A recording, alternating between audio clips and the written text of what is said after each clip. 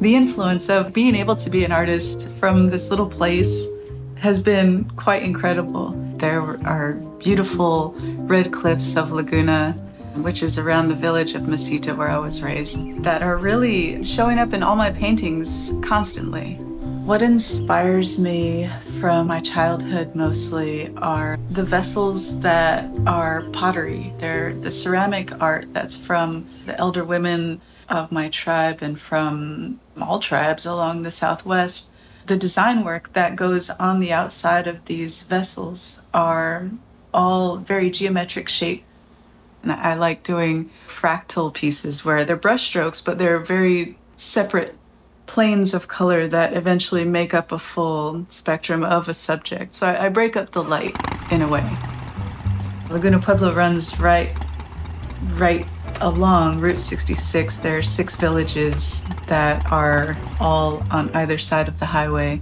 And now moving here to California, being here in Santa Monica, it's just amazing to think that this road has been a life path for myself and for my career and for many life experiences.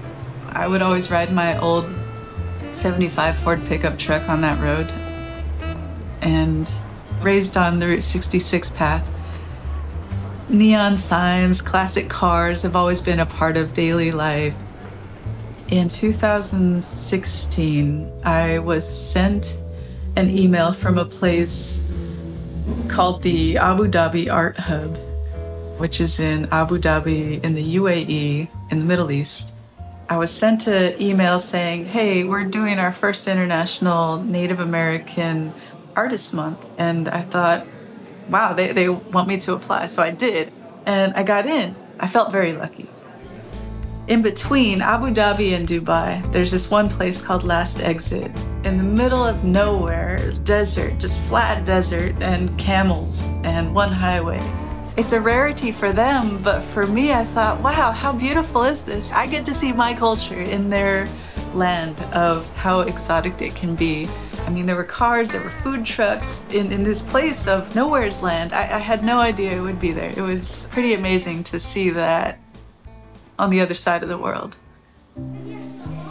Route 66 has been a constant tether from home to somewhere else. The main vein that breathes and shares and has the blood of so many people and life experiences and a great history all throughout.